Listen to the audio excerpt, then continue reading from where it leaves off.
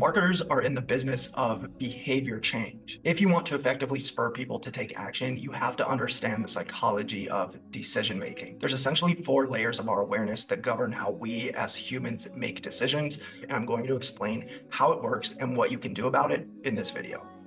On the outermost level, you have what's called the periphery. Here, we're aware of something, but it's still on the fringes and we don't yet have affinity. Then you have the preference layer. Here, we prefer to do something or would like to do something, but it's still likely existential, and we're still doing more imagining or planning or evaluating than acting. Going one layer inward, you have the priority circle. This is where we know we desire something and we've narrowed down options from preferences to favorites. Most marketers stop here assuming that there's nothing more that they can do. But think about it. How many priorities do you have in an average day? If you're like most people, there's probably two to four to five plus things that you could categorize as a priority. It Turns out that's actually not deep enough to get people to act. Why? Options, alternatives, and to dos are hurtling at most people 24 7. Most people operate within a world of constant change and chaos. Most people are busy. Most people don't care about you or your product, at least no more than the next thing on their personal list. So, the final layer of the psyche to penetrate if you want to catalyze imminent action is to become a pressing need. We only take decisive action once something is pressing. Typically, that means the thing has to be intrinsically tied to or made to connect with our individual internal psychological drivers. It also has to be timely. If you're familiar with Maslow's hierarchy, you know it goes physiological, safety, social, esteem, and self actualization. That's the order in which we're naturally wired to care for ourselves in the world. So, if you can tie your positioning and your messaging to the right corresponding level on that pyramid for individual prospects, you can effectively couple your product with fulfillment of a need based on where that person is at.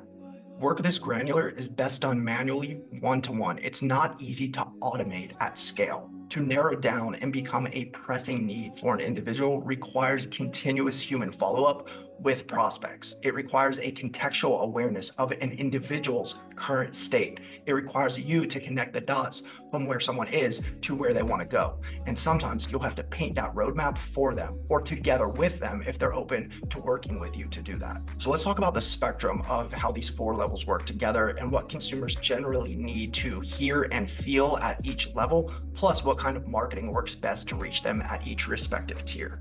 Peripheral. This is the outermost level of our awareness. We're either unaware or just becoming aware of something. There's no motivator at this point because we can't take action on something that we don't know is a problem or an opportunity. Your biggest challenge here is gaining mind share, right? This is achieved through repetition, consistent content deployment, and zigging when everyone else zags. So being different. The only goal at this point is to capture and keep attention. You're looking to drive follows and subscribes at this stage so that you can then communicate with those people repetitively to present them with information that's geared to naturally move them progressively closer toward the pressing needs stage. For that reason, the hard sell is often difficult here because the value hasn't yet sunk in when people are just becoming aware of something.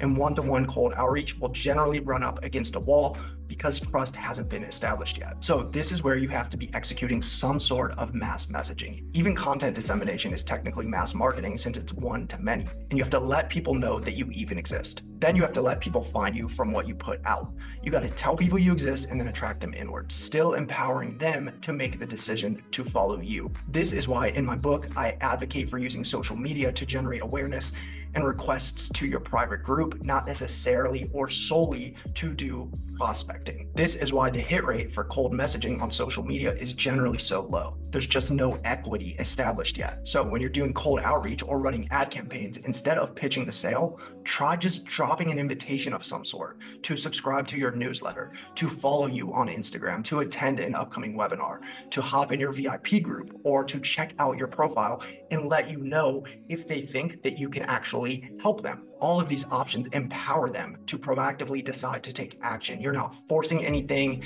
you're just inviting them. The point is, you're simply commanding attention top funnel, driving toward your content, and then converting that acquired attention into affinity where people gradually start to know you, like you, and trust you. With time, this prompts a shift into the next level of our matrix, the preference layer. Here, people would like to do something, to try something or buy something, but the internal incentive probably isn't strong enough to spur action.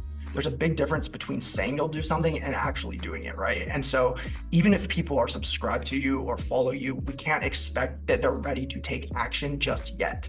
Ideally, at this level, we're not yet cold pitching individuals either. We still have to establish need. We have to focus our overall messaging on the imminent threat which traditionally most marketers refer to as a problem. So this is an important mind shift. You have to narrow in on the specific problem that exists, which you solve for. Figure out how to talk about it, not as a problem, but as an imminent and urgent threat that's directly infringing on your audience's livelihood. And then talk about it as such within your marketing until you know what the threat to your audience is, then your marketing isn't going to have that sizzle that it needs to stop people in their tracks and get them to say, oh shit, I need to pay attention here. So the preference layer is about recognizing the gap that exists between where people are and where they need to be for success. And you've got to believe it too. Like this has to be your reason for being, your raison d'etre to solve this pervasive threat. This can't be manufactured or artificially concocted. It has to be something that you believe with all your heart is wrong in the world, some error that you're hell bent on fixing.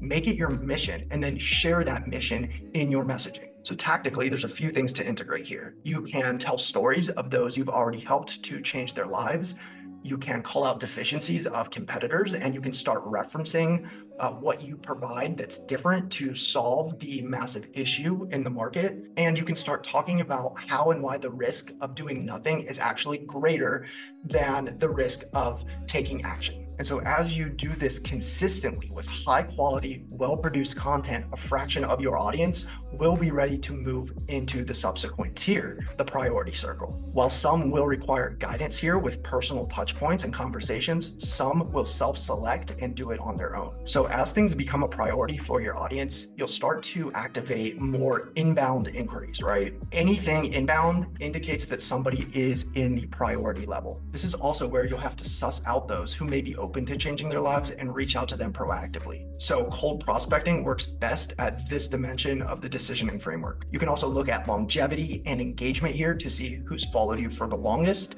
You can look at your most engaged followers on social media, for example, which is an indicator of interest. Uh, you can nurture prospects inside of your VIP group, right? And these people will be more likely to want to engage because trust has already been cultivated. They already know you, they know the issue or the opportunity that's at hand, and they know that you can help. In terms of what angles to take with your CTAs here, the best motivators at this stage are scarcity, so capturing a fleeting opportunity, and FOMO, so taking advantage of something that others are already making forward progress on and changing their lives with. You don't want to apply too much pressure, but you do want to be doing strategic follow ups, sharing content to bust objections, and that establishes the opportunity in blatant terms. Also, use lots of social proof at this stage. So, showing recent customer successes to help tilt the edge here and create that sense of, hey, everyone else is doing it. I better get in the game too. People in the priority circle are convinced they need to do something soon to alleviate the problem, and they're probably open to change, but they still might be doing diligence or ironing out the kinks in their personal life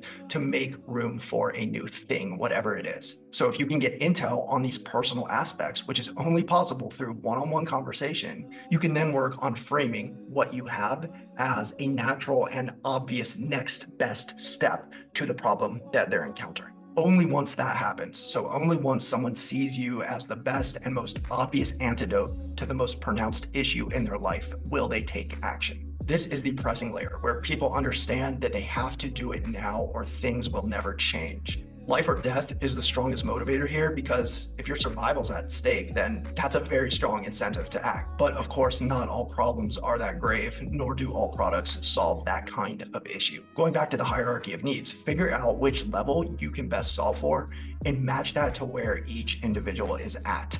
This is where you need to be with every prospective customer in an ideal world. So here you do want to use the hard sell and urgency is the best angle for CTAs along with specific offers. Timers, expiration dates, and countdown clocks are three common tactics, and they can really help to solidify action by giving that extra push that sometimes people need. As a note, the biggest mistake that companies make at this threshold, right as they're about to cross the finish line or after they've gotten an affirmative commitment, is to change up the terms or bait and switch. Do not have any surprises once people get to this point no hidden fees, no unexpected steps, nothing that might create friction or cause them to second guess that decision. It seems obvious, but I'm amazed at how many companies make this mistake. They either don't disclose certain items or they think just because someone is hooked, they can throw in extra fees and it'll all be good. It won't be good because you're going to get pushback against the forward positive momentum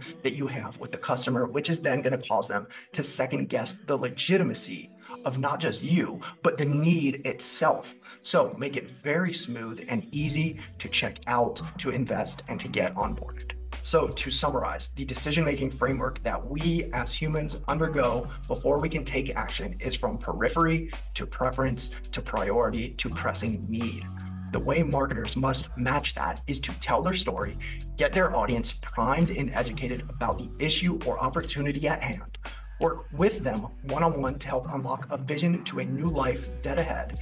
And then, once the need becomes pressing enough and people are on the hook, just hand them the keys to make it all possible. The purpose of marketing is to deliberately facilitate the movement of an audience from top funnel to bottom funnel. This must be done for your overall audience and for individuals within it simultaneously. The marketing machine must work on the macro level and the micro level together. One empowers the other. To succeed as a marketer, you have to believe in what you're providing and promoting, and you have to have the adaptability to cater how you talk about it to individuals. This is the only way to take people from a peripheral awareness to a visceral recognition that a pressing need is present in their lives and that they risk more by not addressing it than they do by taking bold, decisive action. That's not an easy task, but it is the mission at hand.